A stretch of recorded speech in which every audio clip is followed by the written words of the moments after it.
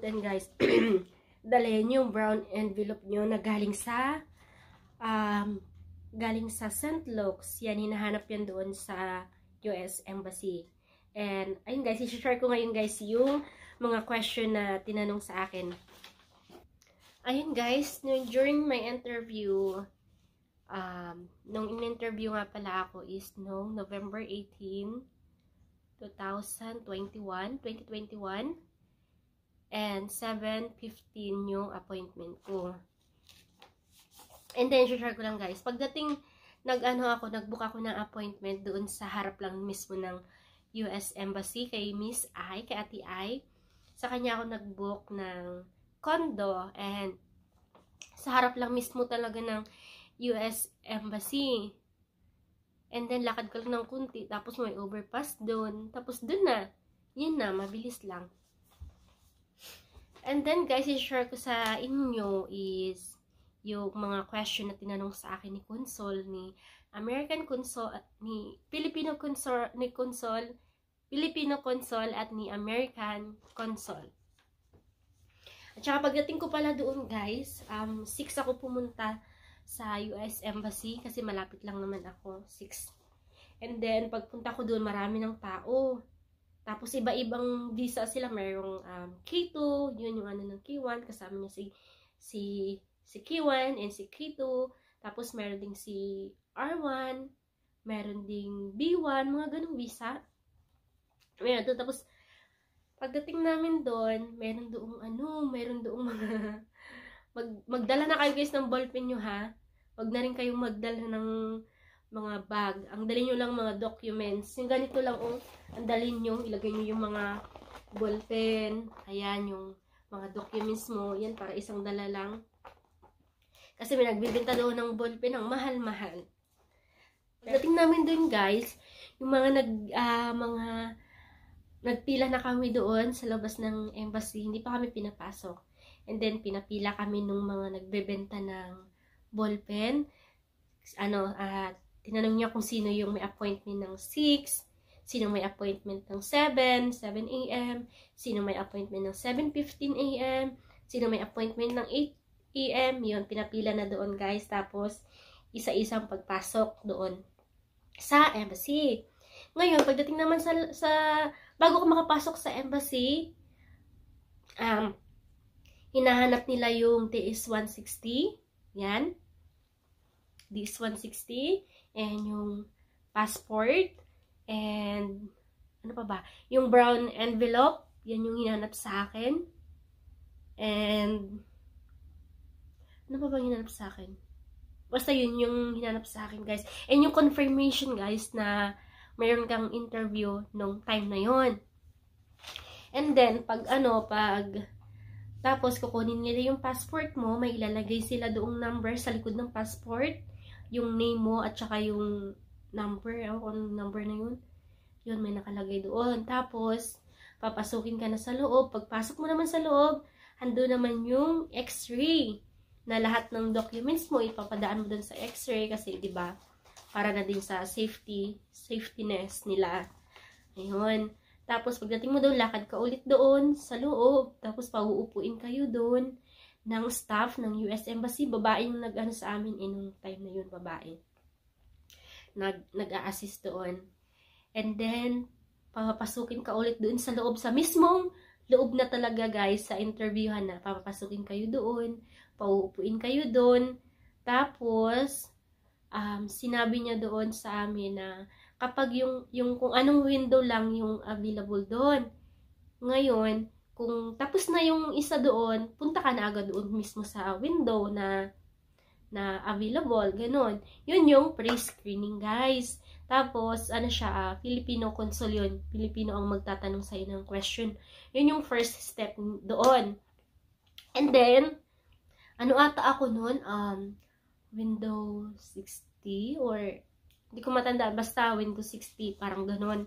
And then, yung Filipino console, tinanong niya lang sa, binigay ko yung passport, passport sa kanya, and then, and then, tinanong, ano pa bang kinuha niya? Passport, and brown envelope, kinuha niya rin sa akin.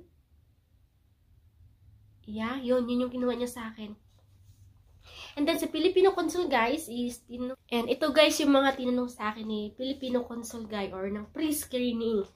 Tinanong niya sa akin, anong pangalan ni, unang tanong niya sa akin is, anong pangalan ni petitioner? Yan. Anong work niya? Anong work ni petitioner? Pangatlo, kailan ang birthday niya? Uh, pang-apat, anong address niya sa US? And panglima, ilang beses siya pumunta dito sa Pinas. Tagalog lang yun guys ha. Tagalog lang yung ano niya. Kasi Pilipino nga siya. Ilang beses siya pumunta sa Pinas. And then, divorce ba siya? Yun ang mga tinanong sa akin. Nag-work or nag-travel ba ako sa ibang bansa? Sinabi ko doon. Yes, kasi nag-work naman ako sa Taiwan. And then, tinanong niya sa akin, meron ka bang police clearance na galing sa Taiwan? And then, sabi ko, meron po. Uh, yun, binakita ko sa kanya, guys. Hindi niya na binalik sa akin. Wala akong copy noon. And then, he asked my number, kung ano yung number ko, para pag diniliver daw yung visa ko, yun.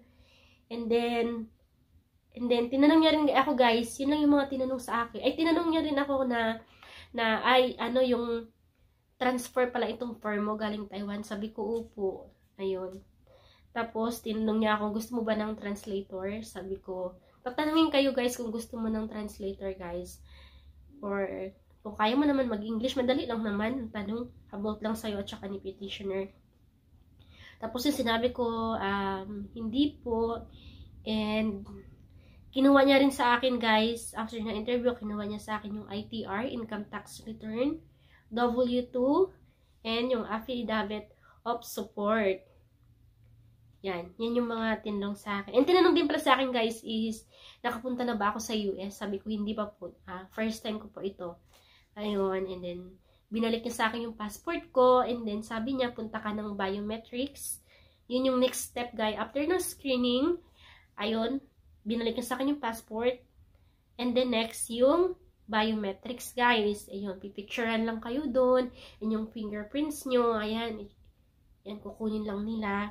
And then, after naman ng biometrics, guys, doon na yun, uh, pauupuin na kayo doon sa next na, na, ano na, doon sa area na, yung, yung American consul na yung magtatanong.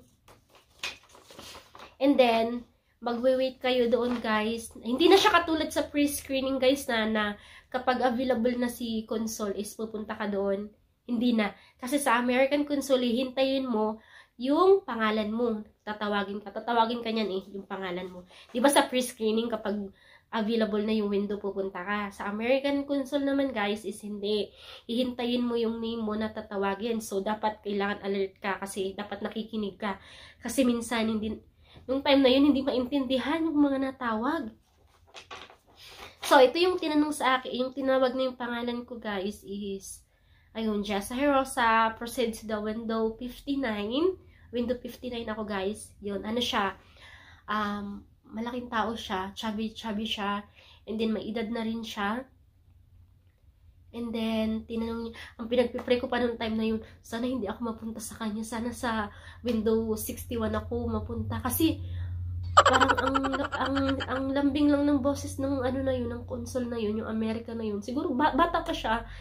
And then, ang bilis niya lang mag, ano, mag-approve. As in, siguro mga 5 minutes, tapos na. And then, ito namang sa window 59, ang tagal niya dun, guys. Nagpipray ko dun sa upuan. Sabi ko, Lord, sana hindi ako mapunta dun sa window 59. Ganyan, ganyan. Pero, wala. Yun, dun ba rin ako napunta sa window 59. But, I'm thankful pa din kasi in-approve niya ako.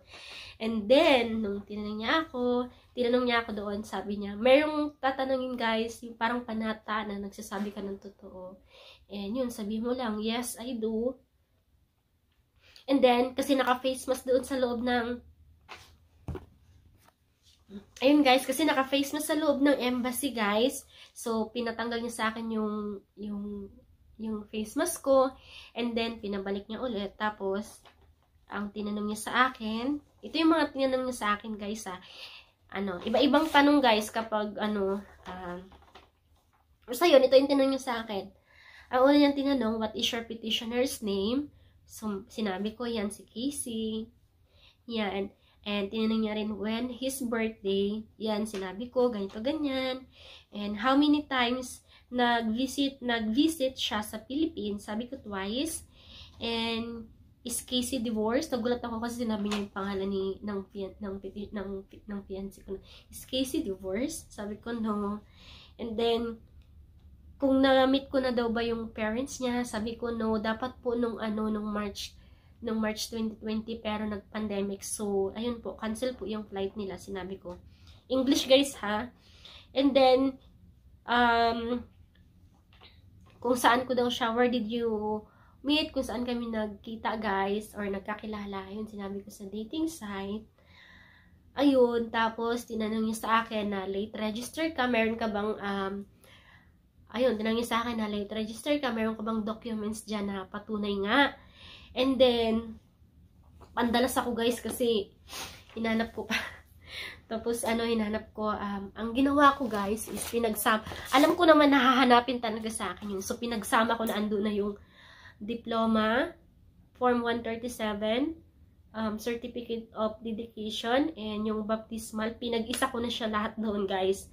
So, yun, hiningi niya sa akin. Sabi niya, pwede ko bang makita? Sabi ko, yes, yes. And pinakita ko sa kanya, and chinek niya, guys. Sabi niya, mm, okay. Okay, ganyan lang siya. And mahina siya magsalita. Kailangan, tapos meron siyang question doon na hindi ko maintindihan. Sabi ko, I'm sorry, can you repeat? And, okay lang guys ha, kung hindi nyo masyadong maintindihan, tapos ipa-repeat nyo sa kanila, okay lang naman yun. Kasi, parang hindi masyadong marinig eh. Lalo na pag masyado sila yung accent nila. Islang masyado.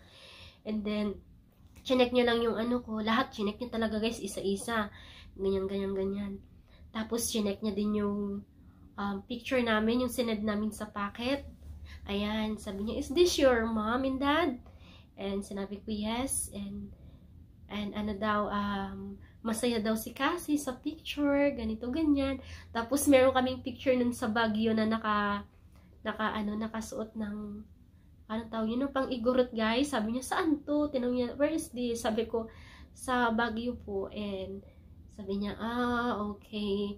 And then, sabi niya, uh, kuha ka na ng papel dyan sa harap. Kasi may papel doon guys na maliit sa harap. Ito yun oh.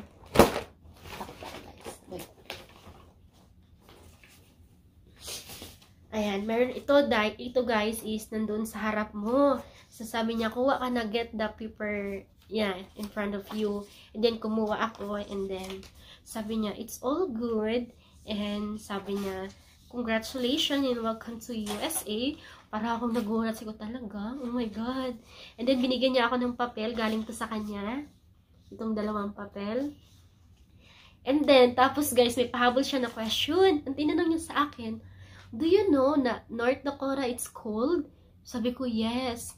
And sinabi ko sa kanya, kaya nga po pagdating ko doon, English gaya, sinabi ko, kaya nga po pagdating ko doon, bibilihan ako ng, ano, ng, ng mga jacket na panlamig. Kasi may jacket ako dito, hindi, hindi, ano, hindi daw yun, uh, enough sa lamig doon. And tumawa siya, guys. Parang, kailangan, ano lang, confident ka, and then, wag kang magpaano na, nervous ka, and smile ka lang, kasi ganun yung ginawa ko, nag-smile lang ako sa kanya, kahit walang nakakatawa. Ayun, nag-smile lang ako sa kanya, tapos, ayun, sabi niya, welcome to USA, and then, para ako natulala, tapos yun, yung mga documents na kinuha niya sa akin, binalik ko na, binalik ko, tapos sabi niya, hintay ka na lang, kung may problema ka, tawag ka lang dito, ganito, sa visa mo. Ayun, tapos nung naglakad ako guys, para akong tulala, hanggang pag uwi ng kondo. Yun yun, ang saya-saya lang. Ayun, ayun lang guys, be confident, and wag kang nervousin, kasi pag na-nervous ka, mawawala yung mga, baka ma-mental block ka na, and then, kailangan alamin mo lahat yung tungkol kay fiancé mo, kasi iba-iba ng question, Lalo na si, kung si fiancé mo is may mga anak. Ayan, kung tatlong anak niya, tatanungin yan sa iyo. Posible na tatanungin anong pangalan, kailan ang birthday. Kaya, be prepared na lang guys. And kung may kaso si fiancé before, be honest din guys ha sa kanila. Kasi alam din nila yan. And tatanungin ka din kung, ayun, tinanong niya din pala ako guys kung nag-work ako sa ibang bansa. Sabi ko, yes po, anong, ay, nag-travel ako sa ibang bansa, sabi ko, yes po. And tanong niya, anong ginawa mo? Travel or work? Sabi ko, work po sa Taiwan and 3 years. English yun guys ha. Sabi niya, oh, okay. Ayun, and then, yun. Smile lang, confidence, honest, and kailangan reviewin mo yung, yung pinasa mo sa kanila kasi sila, wala kang maitatago sa kanila. Alam nila yan kung nagsisinungaling ka o hindi, or genuine yung relationship nyo or hindi. Yan, alam nila yan guys. And kailangan yung mga documents, lahat ng documents meron ka na just in case na hihingi nila is meron kang maipakita sa kanila para maiwasan natin yung 221G. Yun yung 221G guys is kunyari may hinanap sa yung police clearance, wala kang naipakita, and then 221G ka, and then may isisend sila sa iyong form na ipapasa mo ulit sa kanila. Hindi naman yung denied guys ha. 221G ka lang, parang madidili lang yung process ng visa mo. Kailangan mo lang i, i ano, ipakita sa kanila yung hinihingi nila. So, bago kanila i-issue ng visa, and yun lang, yun lang naman yung mga tinanong sa akin. Kasi si Casey at saka ako, and para naman kaming single, wala kaming mga anak, as in wala, wala ring mga kaso. So, mabilis lang, and ayun. Yun guys, kung may mga question kayo guys, basta alam ko, and tanong lang kayo. At least, pag alam ko lang ang question nyo ha. And sana may natutunan kayo guys. And sana naka, maka, makakatulong itong video na sa inyo guys. Sa K1B sa inyo. And huwag kayong mawala ng pag-asa. And alam niyo naman ng LDR, kailangan ng kailangan ng ano dyan, ng ng tiyaga. And kailangan ng ano niyan, ng um, ano pa ba? Um, ayan, wag lang kayong mag-give up kasi may mga ilan na nag-give up eh. Ewan ako ano yung mga problema nila, pero basta mahalin naman na yung isa, pagpapatuloy nyo lang yan. Go lang. And then now, I'm here in the USA, and, and our, um, um, wedding is coming this March na. And yun, thank you guys for watching, and sana is makakatulong to sa inyo. And thank you and God bless you.